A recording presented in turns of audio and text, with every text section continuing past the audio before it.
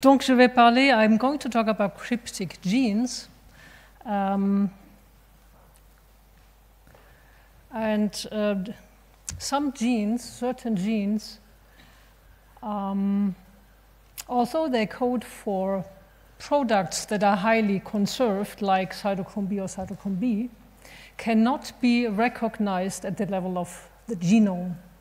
Such genes actually are decoded, are recoded at the level of the various steps of gene expression. So decoding, recoding takes place either during the transcription from DNA into RNA, or when the gene is coding for a protein, recoding takes place during translation from the messenger RNA into the protein. So most frequent is recoding at the level of the RNA, that is after transcription and prior to translation. So uh, just to give you an overview of the talk, I'm first talking about or introducing or reminding you of the structure of ordinary genes and the structure of ordinary mitochondrial genomes. And then I will talk about the quite unusual mitochondrial genes and genomes in diplonemid protists they are cryptic genes, and I will tell you what we know today, how these genes are decrypted. At the end of the talk, I will briefly um, present you our hypothesis about how all these strange phenomena may have evolved. So here's the structure of ordinary genes. Left, you see the simplest gene structure, which is transcribed into RNA and then processed at the end and it is immediately a messenger RNA that can be translated. In the middle, you see the gene B. This is interrupted by an intron. It could, can be an intron of the four, uh, one of the four types, a spliceosomal intron, group 1, group 2 intron, or RNA, also called archaeal intron. Again, the um, intron is transcribed together with the exons on both sides, in this case, it is spliced, cis spliced to generate a messenger RNA that is continuous and can be translated. On the right side, you see a more rare case. Here, a gene has been broken into two pieces, probably by genome rearrangement. In this case, since the part one and part, part two is far apart, these uh, two pieces are transcribed independently. And then the splicing machinery, be it group 1, group 2 spliceosomal or tRNA intron splicing machinery, will put together the two exons into a contiguous messenger RNA. So the last case is rare, still it has been, observed for all four introns types. So now I going to remind you about ordinary mitochondrial genomes. So in blue, you will see the typical case, and in brackets, you will see the extremes or deviations. So usually, the mitochondrial genome consists of a single chromosome, and this is the case also in, for our mitochondrial genome. It's one chromosome of about 16 kb. The ploidy is about 10, but can be really, really high, depending even on the state of the cell. The size, let's say on average, is 50 kb. In humans, it's much smaller, and some genomes are more than 10,000 kb.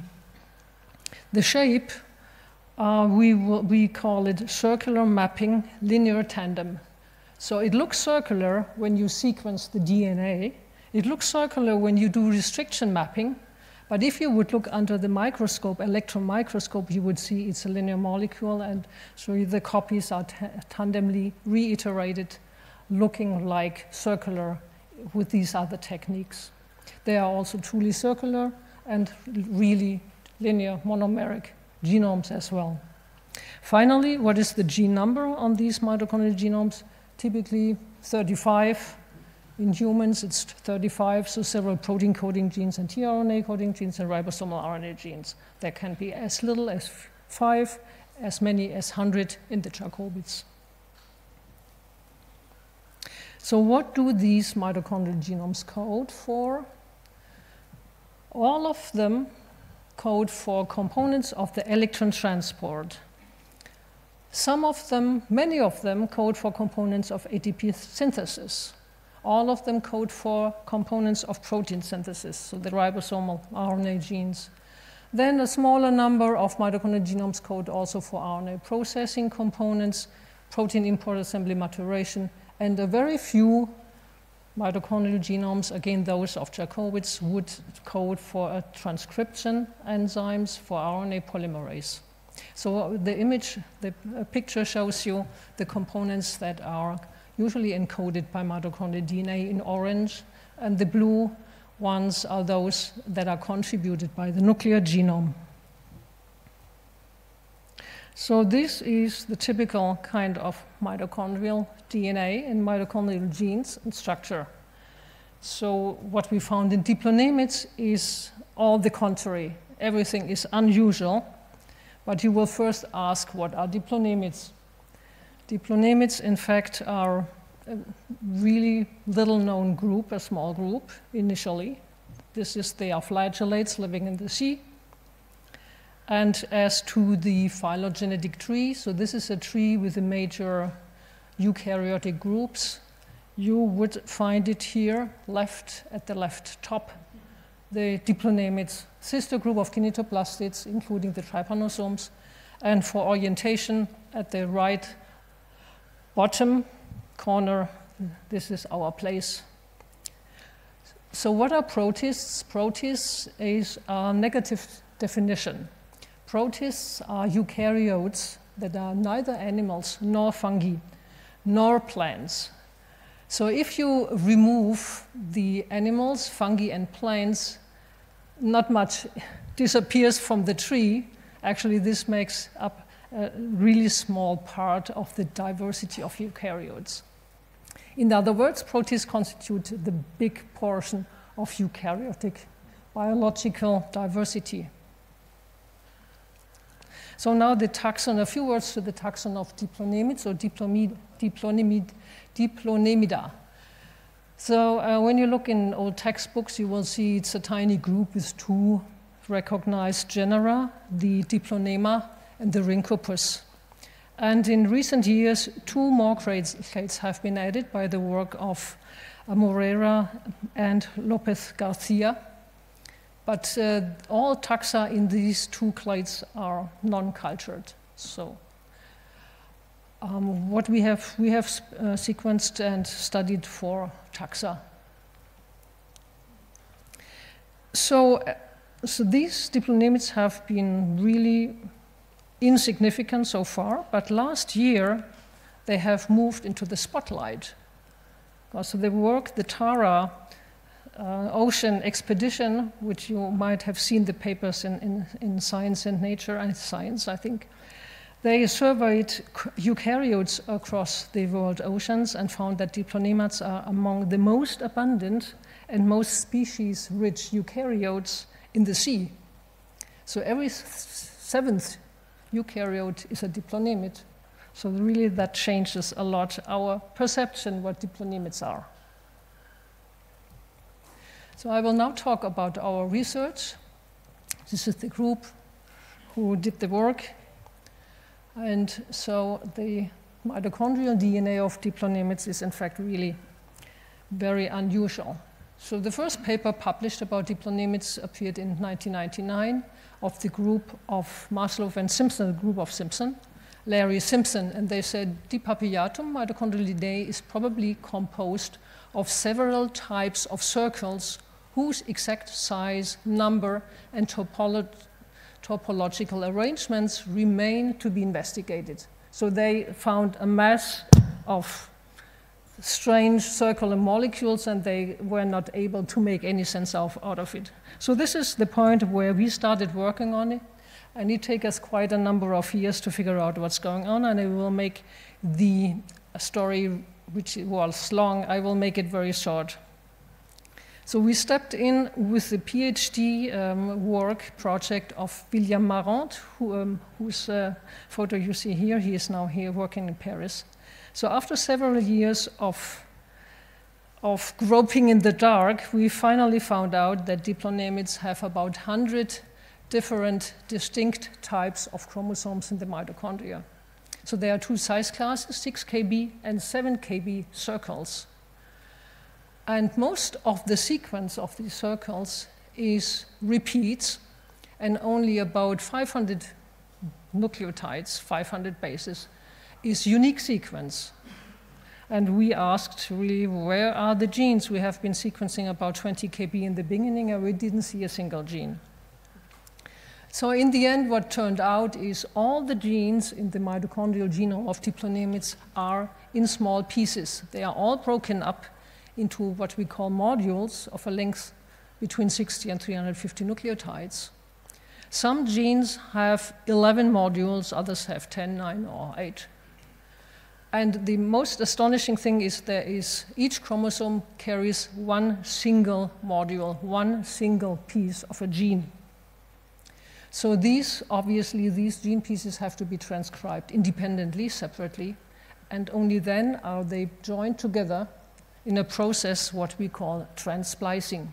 So you see in, this, in the images up in the upper part, chromosomes, six chromosomes with M1 to M6, meaning module 1 to M6, and this corresponds to one gene. Then you have transcription with precursor transcripts having including sequence from the non-coding uh, regions. These transcripts are processed uh, on both ends to yield coding sequence only. Again, six pieces, coding sequence only, and these pieces are then put together into a contiguous messenger RNA. This can be translated into protein.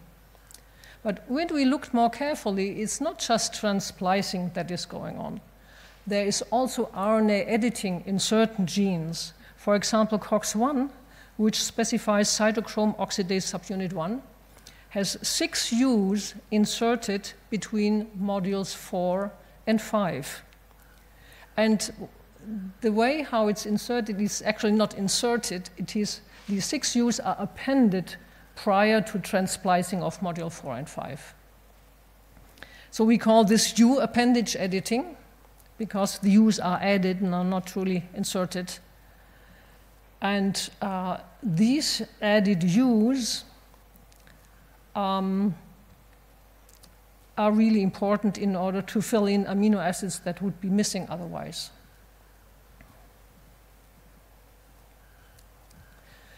So here uh, I, I, show you a table of the genes that we have found. It's actually the gene count of last year. So there are 11 typical mitochondrial genes, all in pieces. You see here uh, in the third column the number of modules per gene, starting with ATP63 and NAD5 having 11 modules. And we, so the genes are coding for ATP synthase and cytochrome B, apocytochrome B, COX cytochrome C oxidase subunits and NADH dehydrogenase subunits, the large ribosomal RNA, and the small ribosomal RNA, which is present in all mitochondrial genomes known today, was missing at that time. So we said this is not possible. Apparently, we have overlooked this gene. So we started seriously looking after this missing gene. And the story that follows now is how we finally discovered it.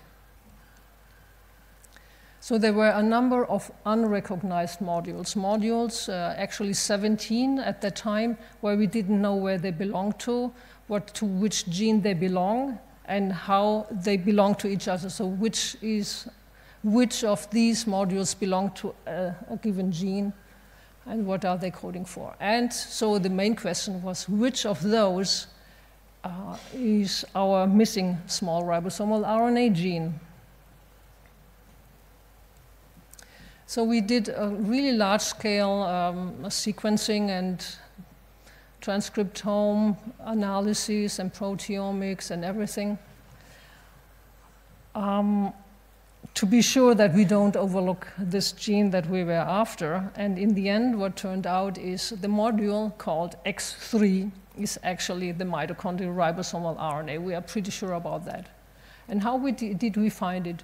It is highly abundant in RNA-seq libraries, um, first of all, and then we isolated mitoribosomes, and there it was even more abundant. So that was a, a good, a good indication that it's a ribosomal RNA. So we can fold it, if you are really, really working hard, you can fold it into a domain that is present in all small subunit RNA um, uh, molecules seen so far. We call it still tentative, and especially Mike Gray who has helped, it, helped us with folding. He said, yeah, it, it could, it's probably mitochondrial small ribosomal RNA, but there are certain things that are not so orthodox, and this is that many of these canon canonical domains are missing, and it's very short. Uh, it is actually the shortest small ribosomal RNA gene reported so far. However, if you look at the animal mitochondrial ribosomal, small ribosomal RNAs, it's not that much smaller, perhaps 50 nucleotides smaller.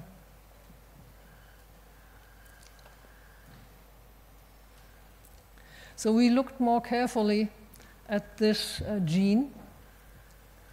And then we saw, looking at the RNA-seq data, that there is U appendage editing also going on at the end, at the very end of, of the molecule of the RNA. But then we saw that there's also substitution editing going on. Actually, it is a stretch of about 90 nucleotides where every C is substituted by an U in the RNA, and half of the A's are substituted by G's in the cDNA sequence. So this was the first case of substitution editing that we have seen in this genome. And you can imagine that finding genes in the genome in this case is, is really, really very hard. So we were most interested in this kind of substitution editing. What kind of substitution editing is it? So we see cytidine to uridine, adenosine to guanosine. Well, this reminds us very much of deamination RNA editing. So it would be cytidine to uridine, adenine to inosine, because the Gs in the cDNA sequence occur as, as, uh, as the, the inosines in RNA occur like Gs in the cDNA sequence. So the, when you remove the amino group of cytidine, you get a uridine. If you remove the amino group of adenosine, you obtain an inosine. And so we also demonstrated experimentally that the small ribosomal RNA has, in fact, inosines uh, incorporated. The question is a little bit um, what, what happens when inosines are ribosomal RNA? So it's the first case that of a ribosomal RNA having inosines.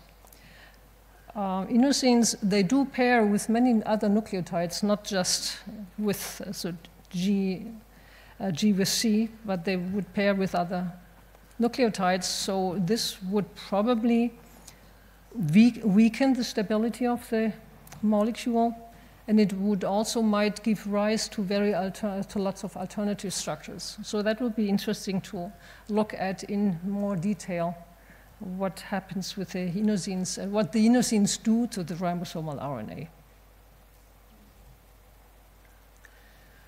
Yeah, and as I said, so A to I editing, what we found in Diplonema is the first A to I editing in mitochondria, uh, except uh, tRNAs, and the first case of a inosines in ribosomal RNA. So to summarize a little bit what we found so far as to RNA editing sites, so um, three quarter of the genes are edited in one way or another. So the most edited as to substitution editing is the small ribosomal RNA gene. And the most edited as to U appendage editing is a gene whose nature we do not know so far there are three sites of U appendage uh, of 2716 and one nucleotide. So a question occurs, obviously, uh, there are 80 modules, 100 editing sites, so who, how the cell knows, the mitochondria knows which modules to join and which sites to edit. We have not seen any problems, any, any errors at that level. We have searched for signals at the sequence level and at the 2D structure motif, but there are no signals that resemble those signals of, of known introns, and there are also no signals around RNA editing sites. So our hypothesis is there are not cis elements, there are trans factors that specify the places where these changes take place. And we have uh, essentially two hypotheses what it could be. Either it's an RNA factor that binds to the modules that have been trans-spliced and to be edited, substitution edited or appended edited, or alternatively, these could be also protein, proteins doing exactly the same job. And this is what we are currently investigating in our lab. We would like to know the factors and the machineries that are doing all these steps.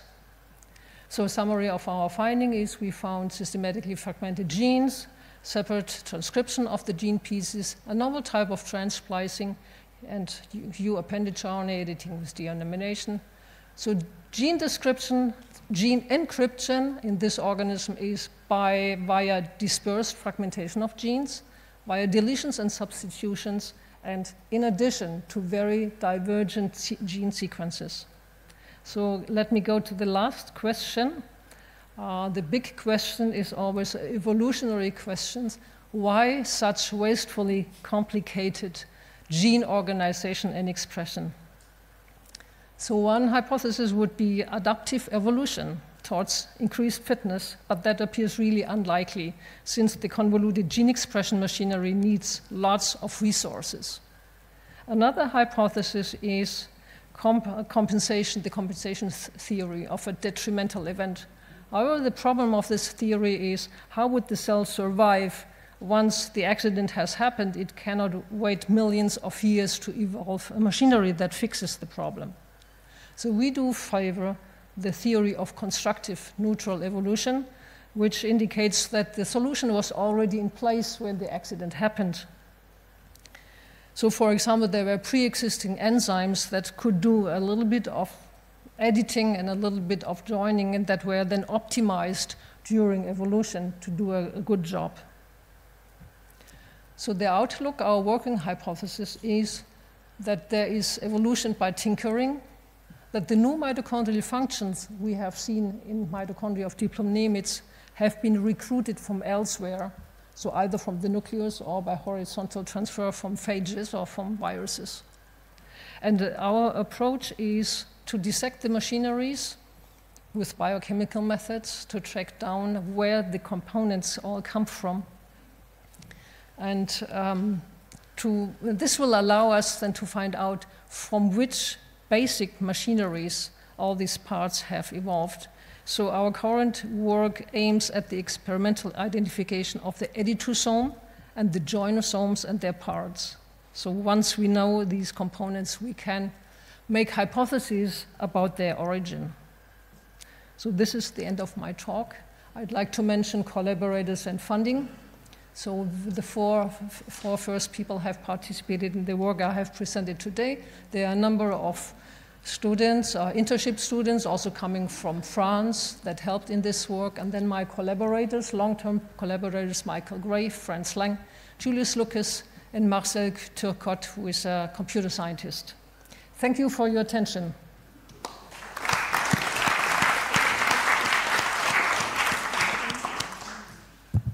Y a-t-il une ou deux questions courtes et on pourra ensuite rapporter à la discussion sur ce, euh, cet exposé euh, Oui.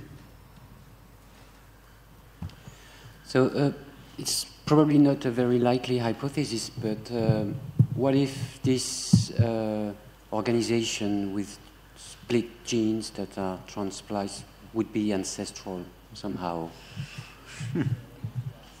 well, um, if you look at the phylogenetic tree, diplonemids are a long tree, a long upper long branch. So it is rather a really derived, derived uh, feature. And we are now trying to find species that are less derived, that are more at the basis of when these funny uh, um, uh, breaking up of genes emerged. Um, we have not yet found it, but we are still continuing. And I, I'm sure we will find intermediates where there is only a little bit of gene breakup and that it has really evolved and um, been optimized in the diplonemes. Oui. The uh, ribosomal RNA story is absolutely unbelievable. I think it's an extremum in uh, natural life. Nothing like that anywhere happens. Uh, especially the deamination, because the step of having to know in some enzyme what is the actual structure, even from the point of view of the, of the dogma, it's an unbelievable story, because some enzyme has to know which sequence is correct, and it is in the protein somehow, which is unprecedented. Because everything in translation is always templated by nucleic acid. So it's an exception that is truly, uh, I'm under shock, right? I've, I've, I've- I've a, a question about tRNAs. How about tRNAs? They are imported. tRNAs are yeah, encoded in the nucleus, imported into the mitochondrion, which is the case also in the sister group kinetoplastids and in the euglenids that are the basis of the tree. What's the size of the chromo of the genome, nuclear genome of this? Uh, Of the nuclear genome is 75 uh, megabases about. so it's small. It's relatively small, yeah. Do they starve for something that you know? Pardon? Do they starve these cells in their natural ecosystems? Like, would they be starved for phosphorus? You know, so there would be a fantastic pressure for saving phosphorus or uh, nitrogen or something like that. You yeah. see that, for instance, marine organisms have smaller RNAs because they lack phosphorus. Oh, that is, oh, that is what you mean. They, they have not enough to eat. Yeah, something like that. Well, we have to grow them on horse serum, and in nature they certainly do not have horse, horse serum to yeah, grow on. right. So I think in the sea there is very little of the things uh, Yeah. they would need. Okay. Ok, merci beaucoup. Tu as eu une question là, oui, euh, Henri Rapidement, et puis après on arrête. Uh, where are the gene corresponding to the enzyme catalyzing all these reactions encoded? In the mitochondria or in the host? Well, I expect the genes to be in the nucleus because we have essentially found all genes. The Y genes, we, know, we don't know what they do, but they look more like membrane proteins because they are very apolar. I don't think that these have catalytic activity, for sure, not, not the catalytic, the activity, deamin- deamination also.